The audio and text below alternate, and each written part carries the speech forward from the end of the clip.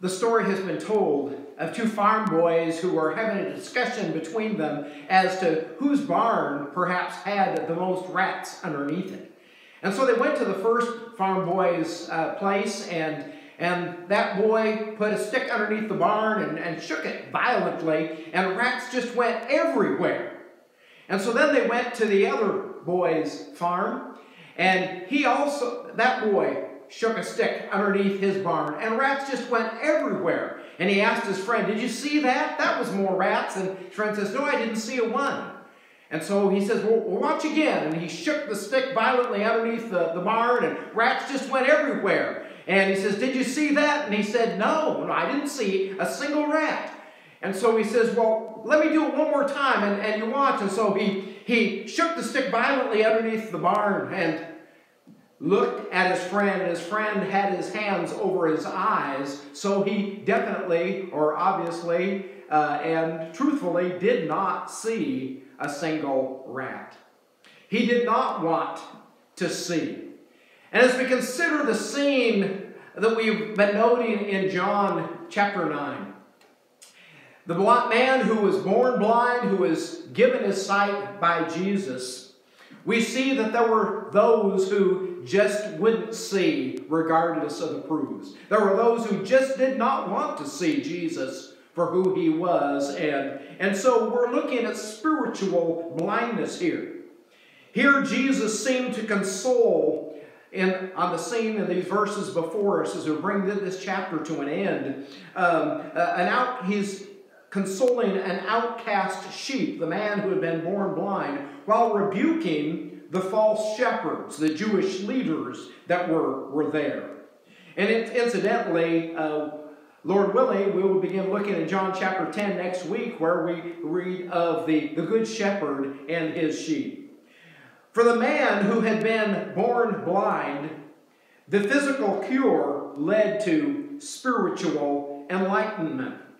And so we begin here as Jesus was revealed more fully to the man who was once blind, as we read in, in John chapter 9, 35 to 38 as Jesus heard what had happened to him. Jesus heard that they had cast him out.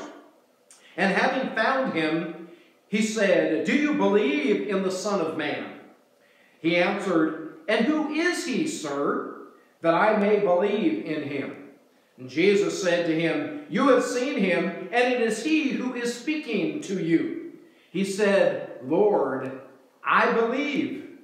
And he worshiped him. Jesus heard what had happened to him, that he'd been cast out by the Jewish leaders. Remember, we have a Lord that understands rejection.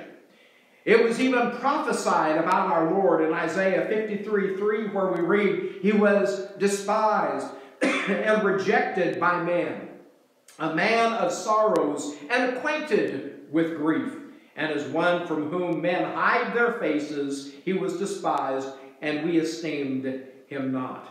Despised and rejected. Oh, we see that coming true, that prophecy fulfilled in the ministry of Jesus.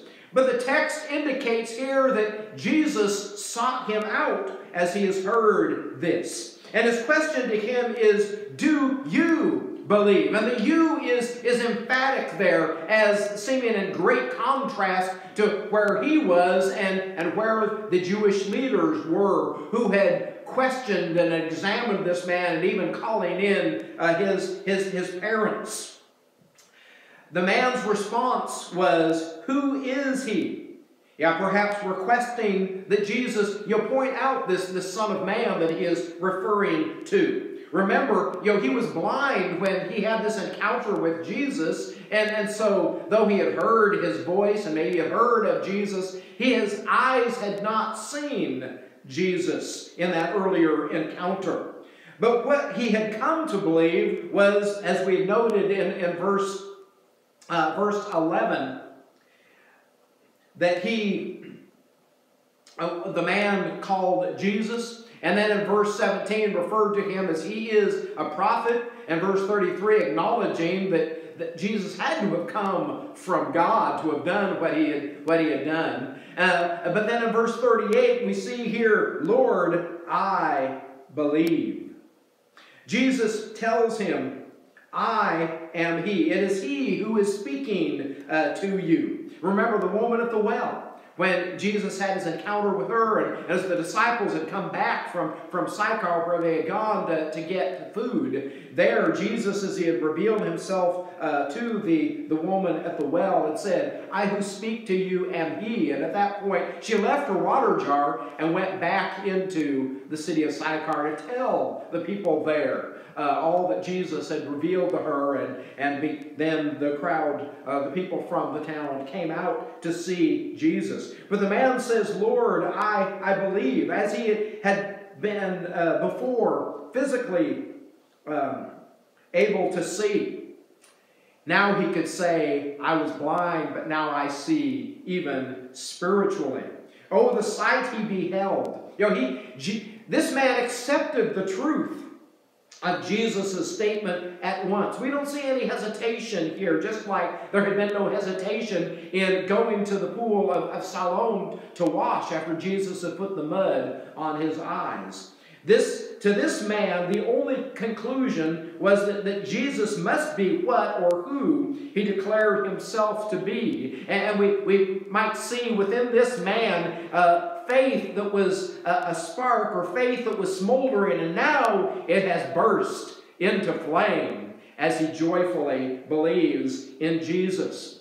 And as Jesus continues this conversation with this, this man, Jesus states a purpose in his coming. Yes, we understand from the scriptures Jesus came to seek and to save the lost. He, he didn't come to condemn, but he came to, uh, to, to save and, and, and to bring life. But yet, there's also judgment that was associated just within his presence. As Jesus says here, For judgment I came into this world, that those who do not see may see, and those who see may become blind. His very presence pronounced a judgment that revealed the hearts of those who encountered Jesus. You know, without pointing a finger, there were distinctions that were made. True light doing just what light does, exposes and, and reveals.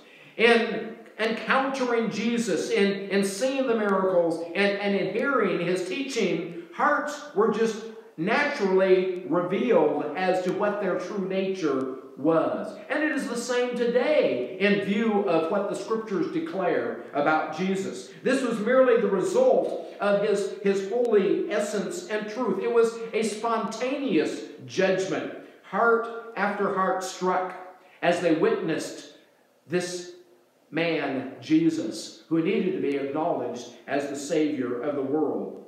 His very presence provided a judgment or provided a distinguishing.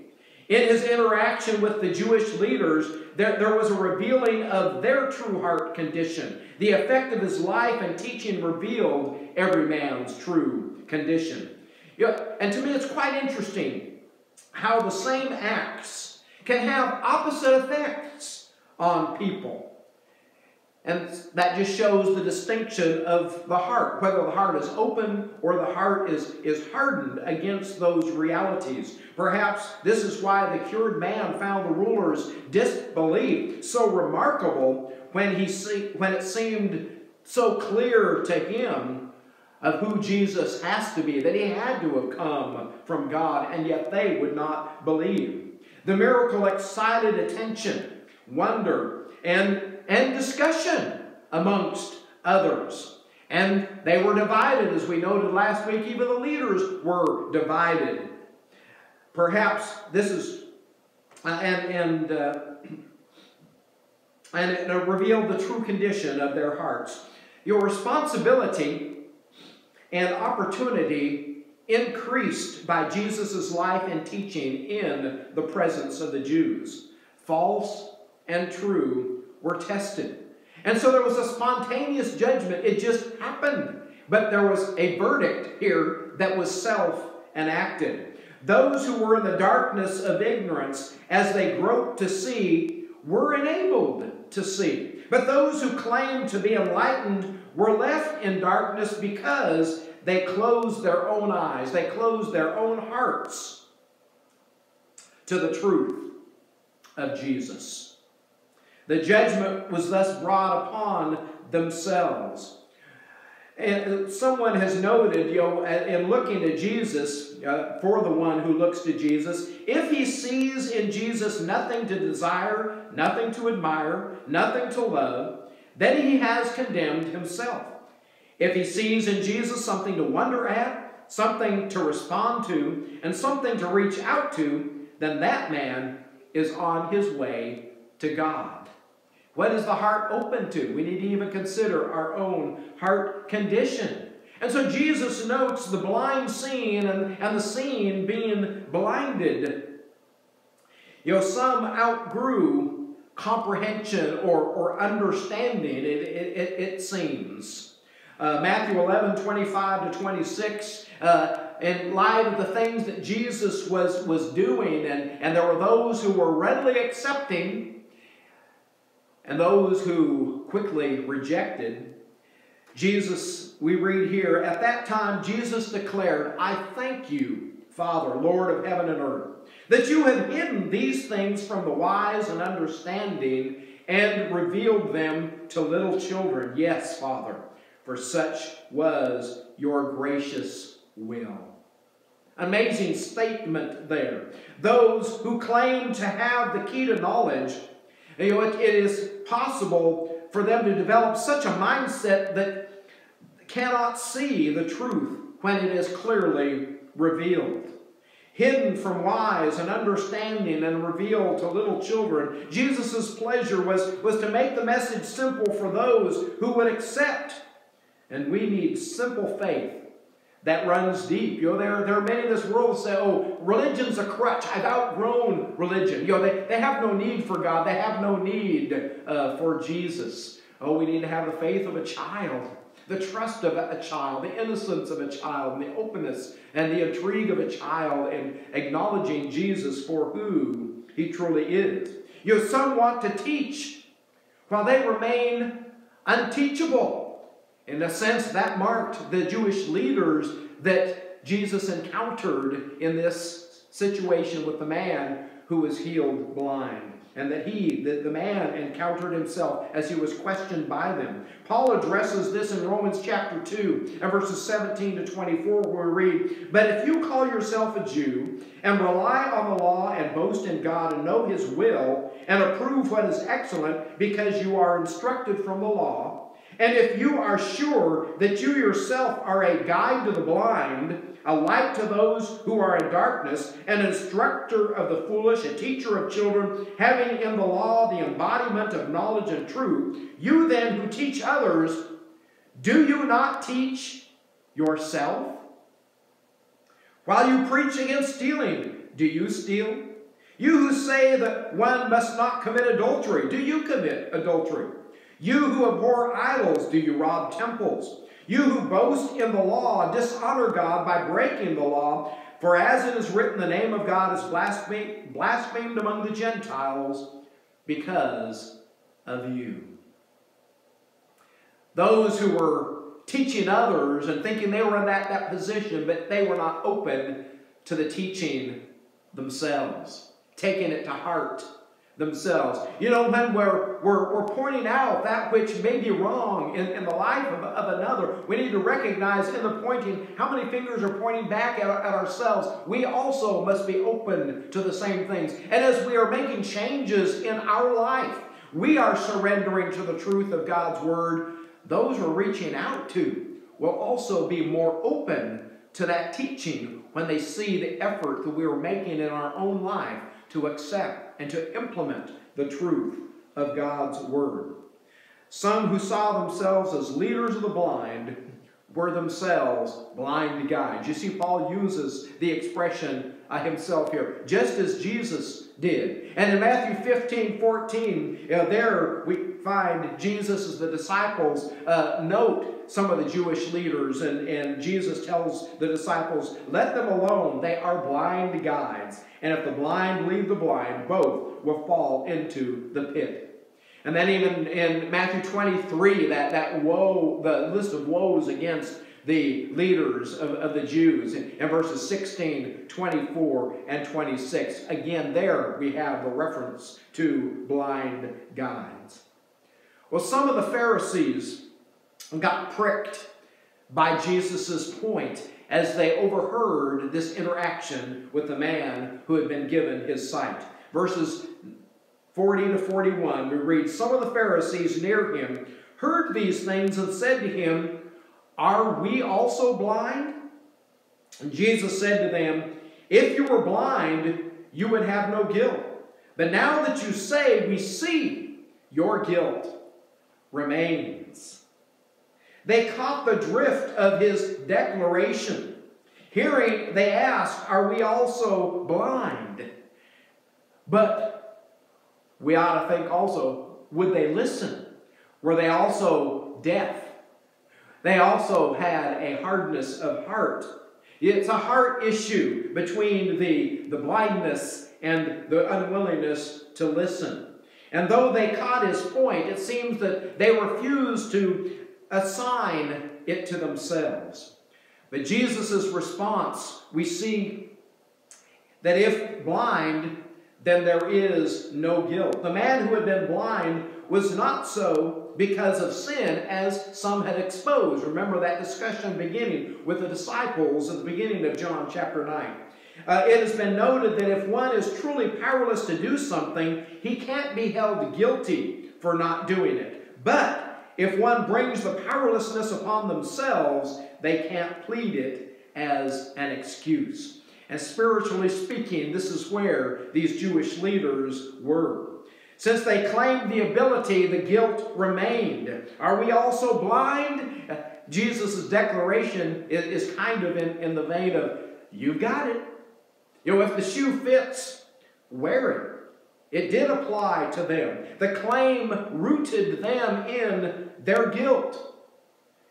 They had the opportunities, great opportunities for seeing and, and, coming to understand, but refused to see the truth. And therefore, it was self inflicted blindness on their part because they willfully refused to see. Even in their investigation of this man's blindness is revealed a search for, for any way that they could deny the testimony centered on Jesus. First, trying to deny that a miracle happened by calling the parents in uh, to try to confirm, though, no, he'd not been born blind, but that didn't work, and, and continuing to question him, they could not undermine this man's faith and where it was, was going. And so they were angered at him and cast him out. The Pharisees were not ignorant of Jesus' character or works. As one commentator states, he bore all the marks of a prophet and more than a prophet. He spake as never man spake, and they knew it. He healed the sick, cleansed the lepers, raised the dead, cast out devils, and they knew it. You see, they, they could not deny the miracles. And, and even when Jesus was healing on, on the Sabbath, they, they wouldn't deny the miracle just to tell the people, come on a different day, and try to accuse Jesus based on breaking the Sabbath law by healing on the Sabbath. Jesus' life was completely consistent with his teaching, which again was a great contrast with many of the Jewish leaders of the day. But they closed their eyes to this great light of life that was, in effect, exposing their hearts and exposing their lives. The more they probed, it seems the brighter Jesus appeared, and people were witnessing that. And because of that, people were turning their faith to Jesus. This left them in the darkness of their anger. They were a witness against themselves. They were solely responsible for their blindness. They continued to ask for signs, but they wouldn't believe the miracles. They would not believe the signs that Jesus gave. And as a, another commentator writes, the man who is conscious of his own blindness and who longs to see better and to know better is the man whose eyes can be opened and who can be led more and more deeply into the truth. The man who thinks he knows it all, the man who does not realize that he cannot see, is the man who is truly blind and who is beyond hope and help. Biblical prophecy was definitely at work in the scene that we have looked at here in John chapter 9. Jesus fit the prophecies, and though many of the Jewish leaders rejected those truths and that reality, there were many others among the people who did accept. As Jesus fit the prophecies, as we know in, in Luke 4 17 to 21, as Jesus' ministry was beginning, and, and there he was in the temple, and we read of the scroll of the prophet Isaiah was given to him. He unrolled the scroll and found the place where it was written, The Spirit of the Lord is upon me, because he has anointed me to proclaim good news to the poor. He has sent me to proclaim liberty to the captives and recovering of sight to the blind. And I would interject there both physically and spiritually.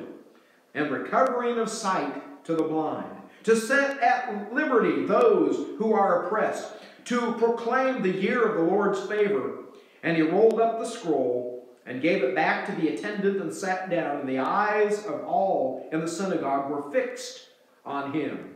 And he began to say to them, Today this scripture has been fulfilled in your hearing.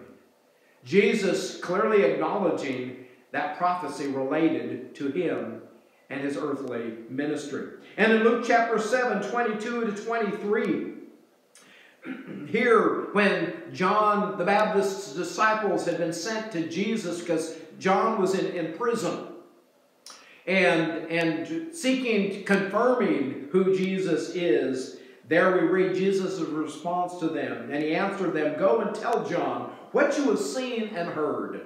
The blind receive their sight, the lame walk, lepers are cleansed, and the deaf hear. The dead are raised up, the poor have good news preached to them and blessed is the one who is not offended by me. Jesus fulfilling prophecy. The teachers of the law and prophets should have said, Hey, this, this is him. In the midst of his glorious presence, they just could not see. But their, their refusal also fulfilled prophecy. As John noted in his gospel, here in, in following the scenes of Jesus and following the raising of, of Lazarus from the dead and, and the Jewish leaders continuing to, to deal with that and, and to plot against the life of Jesus in John 12, 37 to, to 41, in view of the unbelief of the people, John recorded there, though he had done so many signs before them, they still did not believe in him, so that the word spoken by the prophet Isaiah might be fulfilled. Lord, who has believed what he heard from us? And to whom has the arm of the Lord been revealed? Therefore they could not believe, for again Isaiah said, He has blinded their eyes and hardened their heart, lest they see with their eyes and understand with their heart and turn, and I would heal them. Isaiah said these things because he saw his glory and spoke of him. Isaiah looking ahead at the coming of Jesus the coming of the Messiah, and even noting very clearly the rejection that he would receive and the hard hearts that would be against him and those who would just not see because they were blind to the truth. And that text would go on in, verses 42 uh, and 43. Nevertheless, Many even of the authorities believed in him, but for fear of the Pharisees, they did not confess it, so that they would not be put out of the synagogue, for they loved the glory that comes from man more than the glory that comes from God. Some that saw, but they were being cautious. There was division even amongst the leaders, those who just outrightly rejected, and those who cautiously accepted but weren't ready to put their whole life on the line. But Paul also noted this prophecy when he was taken to Rome as a prisoner and had opportunity to speak with Jews who were there in Rome. And on the second coming of, of Jews to hear his teaching, and there were those who were continuing to reject. Jesus, uh, Paul there brought up that, that prophecy again from Isaiah in Acts 28 25 to 27. And we find even on that occasion, amongst those leaders, amongst those Jews, there was a division with regard to what it was that Paul was stating. Are we willing to see with a humble and honest heart? Remember, as John in this gospel introduced, was introducing Jesus the Messiah, in John 1 9 to 13, there we had read, The true light, which gives light to everyone, was coming into the world. He was in the world, and the world was made through him, yet the world did not know him. He came to his own, and his own people did not receive him. But to all who did receive him, who believed in his name, he gave the right to become children of God, who were born not of blood, nor of the will of the flesh, nor of the will of man, but of God. Our connection to Christ doesn't have anything to do with a physical Jewish heritage or a physical link to Abraham such as many of the Jews tried to place all the stock of, of, of their life. But a true connection to God and, and an openness, and it, and it is a, a blessing that has been open to all humanity and accepting Jesus and being connected with Him, united with Him in, in, through baptism into life uh, that makes the blessing possible. And so, as we consider here John's introduction, part of his introduction to Jesus as, as the Messiah. Where are we in, in the picture here? Are we amongst those who are blind, or are we amongst those who are blessed? Because we see Jesus as he is, and therefore have been brought into this blessing of becoming children of God. Not all blind are healed physically, and that's okay. I've known people who were sight impaired that were living a very good life. And they were living also in the blessing of Christ with the hope of eternity in Him. But spiritually, all who will come and who will accept, who will see from the heart, they can say, and we can say, I was blind and now I see. Providing the enlightenment of spiritual vision is still God's great work today. And so let us uh, not approach our study of the Scripture with a bias, but let us accept the proofs of God's power and the testimony of the world as we acknowledge who Jesus is and we apply to our life the truth that is in Him. Let us open our eyes. Let us pray that our eyes would be opened to all the reality, all the awesomeness of Jesus Christ, and all the blessings that are ours in Him, that we would not be deterred from any of that, but that we would truly walk on as His disciples on toward the eternity that He went to prepare for us.